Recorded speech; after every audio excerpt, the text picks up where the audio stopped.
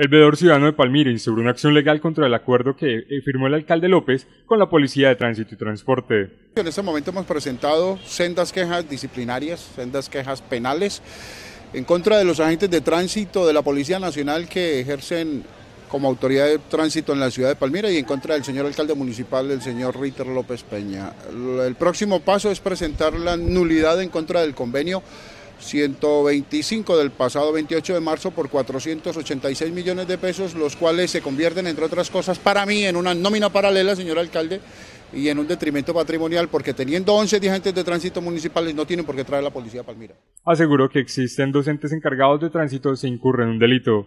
Hay dos autoridades en el ente territorial denominado municipio de Palmira. El servicio de tránsito municipal puede ser prestado por la Policía Nacional en caso de que no existan agentes de tránsito municipales.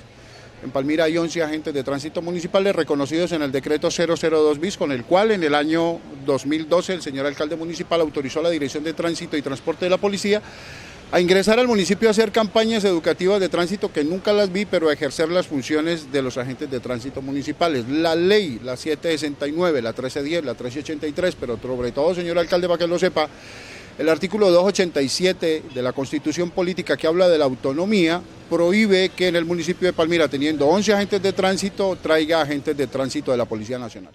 El veedor aseguró que este proceso va en contravía de la legalidad. Es eh, de rango constitucional el principio de legalidad.